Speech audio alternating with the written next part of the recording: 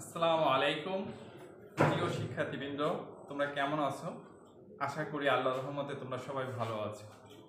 বৈষয়িক করোনা মহামারীর কারণে সমস্ত পৃথিবী আজ স্থবির, তবে সব থেকে ক্ষতিগ্রস্ত হচ্ছে শিক্ষা ব্যবস্থা।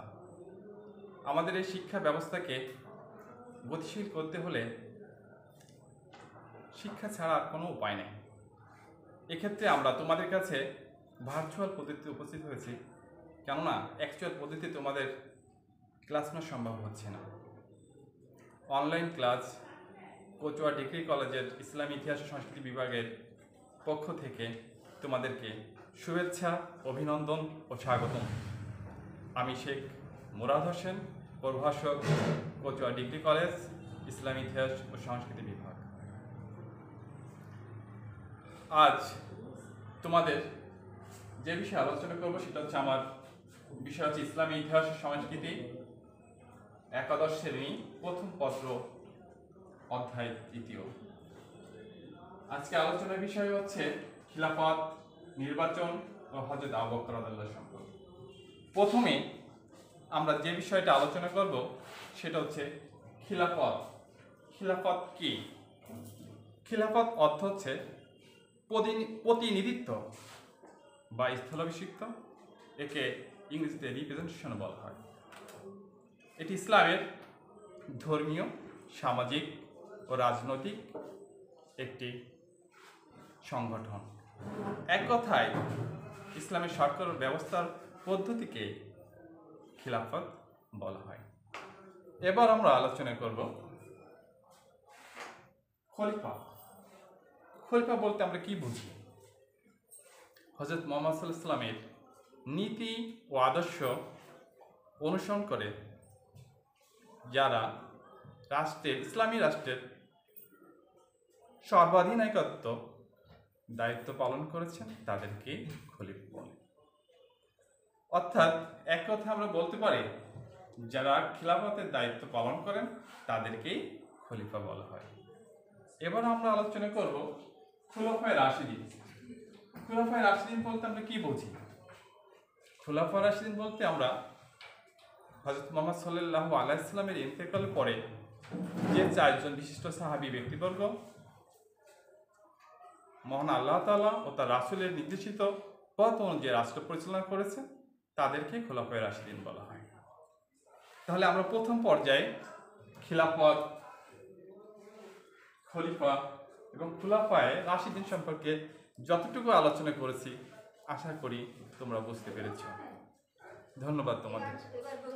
এবার আমি আলোচনা করব হজরত আবু বকর রাদিয়াল্লাহু শাসনকাল। হজরত আবু বকর রাদিয়াল্লাহু ছয়শো বত্রিশ থেকে ছয়শো চৌত্রিশ খ্রিস্টাব্দ দু বছর শাসন করেন। তার জন্ম এবং বংশ পরিচয় আমরা জানব। হজরত আবু মক্কার বিখ্যাত কুরাইশ বংশে পাঁচশত তিয়াত্তর খ্রিস্টাব্দে জন্মগ্রহণ করেন। তার পিতার নাম ওসমান এবং মাতার নাম উমুল খায়ের তার আরেকটি নাম হচ্ছে আবদুল্লাহ। মিরাজের ঘটনা তিনি সর্বপ্রথম বিশ্বাস করায় হজরত মোহাম্মদ সাল্লাহ আলাইসলাম তাকে সিদ্দিক উপাধিতে ভূষিত করেছিলেন। তার প্রাথমিক জীবন, এবার আমরা তার প্রাথমিক জীবন সম্পর্কে আলোচনা করব। হজরত আবু করদাল্লাহ বাল্যকাল থেকে ছিলেন ভালো স্বভাবের অধিকারী। পরোপকারী মানবতাবাদী ও বিচক্ষণ ব্যক্তিত্বের অধিকারী। তিনি লেখাপড়া জানতেন, কবিতা লিখতে পারতেন। আরবের বর্ষপন্থী সম্পর্কে তার ধারণা ছিল। এবার আমরা যে বিষয়টা আলোচনা করব সেটা হচ্ছে ইসলাম গ্রহণ ও ইসলামের খেদমত। হজরত আবু বকর রাদিয়াল্লাহু ছয়শত দশ খ্রিস্টাব্দে আরবের পূর্ণবয়স্ক পুরুষদের মধ্যে সর্বপ্রথম ইসলাম গ্রহণ করেন তার প্রসেসটায় তার বাবা, মা, তালহা, জুবায়ের, আব্দুর রহমান, সাদ প্রমুখ ব্যক্তিবর্গ ইসলাম গ্রহণ করেন। তিনি ইসলাম ধর্মে গ্রহণ করার পর তার নিজের জীবন ও অর্থ সম্পদ সব কিছুই ইসলামের জন্য মিলিয়ে দিয়েছেন। হজরত আবু করাদাল্লাহ বেল্লাল সহ সাতজন দাস দাসীকে ক্রয় করে তাদেরকে মুক্ত হস্তে দান করে দিয়েছেন, তাদেরকে মুক্ত করে দিয়েছেন। হজরত আবু করাদাল্লাহ মদিনা মসজিদ নির্মাণ, গৃহ নির্মাণ, মদিনা হজরত মোহাম্মদ সাল্লাহ সাল্লামের বাড়ি গৃহ নির্মাণ, বদর অহুদ ও খন্দক প্রভৃতি যুদ্ধে প্রচুর অর্থ ব্যয় করেছেন। ইসলামের মহাসংকটের সময় ছয়শত বাইশ খ্রিস্টাব্দে তিনি হজরত মোহাম্মদ সাল্লাহ আলাইসলামের সফর সঙ্গী হয়ে মক্কা থেকে মদিনায় হিজরত করেন। এবার আমরা যে বিষয়টা আলোচনা করব সেটা হচ্ছে খিলাফত লাভ ও খলিফা নির্বাচন। হজরত মোহাম্মদ সাল্লাহ আলাইসাল্লামের এন্তেকালের পর উত্তরাধিকারী নির্বাচনে জটিলতার সৃষ্টি হয়। কেননা হজরত মোহাম্মদ সাল্লাহ আলাইসাল্লাম মৃত্যুর পূর্বে কোনো ব্যক্তিকে পরবর্তী পর্যায়ে প্রতিনিধি বা খলিফা হিসেবে মনোনীত করে যান প্রতিনিধি বা রিপ্রেজেন্টেটিভ নির্বাচনকে কেন্দ্র করে মুসলিম উম্মা বিভা বিভক্ত হয়ে পড়ে। এমতো অবস্থায় মুসলমানগণ সাকিফা বানি সায়দা নামক স্থানে মিলিত হয়ে বিরোধ নিরসনের চেষ্টা করে। কিন্তু দুর্ভাগ্যবশত আলোচনা ফলপ্রসূ না হয়, ঐক্যমতে প্রস্তুতি না পড়ার কারণে খিলাফত প্রশ্নে চারটি রাজনৈতিক দলের উদ্ভব হয়। প্রথমত হচ্ছে আনসার, মহাজের, ক্রাইশ ও আলীর সমর্থকবৃন্দ। আনসারদের অবদান। ইসলামের চরম দুর্দিনে হজরত মোহাম্মদ সাল্লাহ আলাইসাল্লাম ও তার অনুসারীদের আনসাররা সাহায্য করেছিল এবং নিশ্চিত ধ্বংসের হাত থেকে ইসলামকে রক্ষা করে। মুহাজের মুহাজের প্রথম ইসলাম গ্রহণ করি এবং ইসলামের জন্য তারা দেশ ত্যাগ করে। ইসলামের অবদানের কথা তারা বই প্রকাশ হিসেবে খলিফা হিসেবে তাদের দাবি উত্থাপন করেন কুরাইশ। হজরত মোহাম্মদ সাল্লাহ ইসলাম কুরাইশ বংশোদ্ভূত ছিলেন এবং আরবের অভিজাত ব্যক্তিবর্গ অধিকাংশ কুরাইশ বংশের। এক্ষেত্রে তারা খলিফা প্রশ্নে তাদের দাবি উত্থাপন করেন হজরত আলীর সমর্থক বিন্দু হজরত আলী রাজাল্লাহ ছিলেন হজরত মোহাম্মদ সাল্লাহ ইসলাম চাস্ত ভাই, জামাতা এবং ইসলামে তার অবদান ছিল অপরসীম। তার অবদানের কথা উল্লেখ করে তার সমর্থকগণ খলিফা হিসেবে তার নাম উত্থাপন করে এবং দাবি জোরাল দাবি জানান এমন তো অবস্থায় হজরত আবকর এবং বিশিষ্ট সাহাবি ব্যক্তিবর্গ সবাই চিন্তিত হয়ে পড়েন যে আমরা এই মুহূর্তে কী করতে পারি? কীভাবে তে সংকট নিরসন করতে পারি? হজরত আবকর আদাল্লাহ প্রস্তাব করেন, যেহেতু আনসার এবং মুজাহিদদের অবদান অনেক, অপরিসীম। এক্ষেত্রে যদি উভয় সম্প্রদায় থেকে একজন একজন করে দুজন বা নির্বাচন করা যায় তাহলে হয়তো মুসলিম উম্মা এই আসন্ন সংকট থেকে মুক্তি পেতে পারে। কিন্তু হজরত উমরদুল্লাহ তার এই কথা রাখতে পারেন।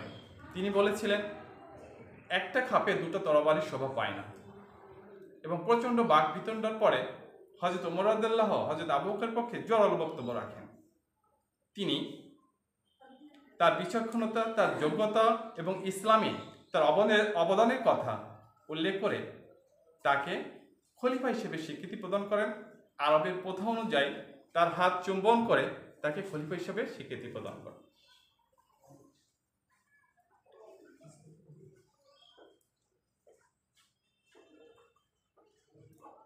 এমত অবস্থায় উপস্থিত সকলে পরবর্তী পর্যায়ে স্বতঃস্ফূর্তভাবে হজরত আবহকারকে খলিফা হিসেবে স্বীকৃতি প্রদান করার মাধ্যমে তাকে খলিফা হিসেবে মেনে নেয় এবং গ্রহণ করে এভাবে ইসলামের গণতন্ত্রের জয়যাত্রা ঘোষিত হয় এবং সূত্রপাত ঘটে।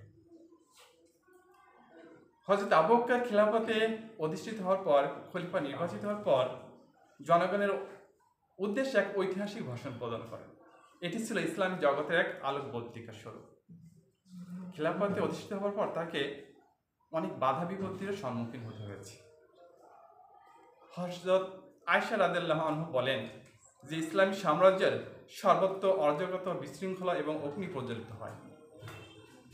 বেধর্মী এবং ইহুদিগণ ছিল সুবিধাভোগী। এক্ষেত্রে মুসলমানগণ ছিল রাখালহীন মেষ পালের ন্যায় যত্র তত্ত্ব ঘুরে বেড়াচ্ছিল এবং ইসলামের দুশ্মনেরা মুসলমানদেরকে নিশ্চিন্ন করার জন্য ষড়যন্ত্রে মেটে ওঠে। এমতো অবস্থায় হজরত আবকর এই সমস্যা সমাধান কল্পে কার্যকরী ব্যবস্থা গ্রহণ করেন এবং সংকট নিরসনের পদক্ষেপ নেন।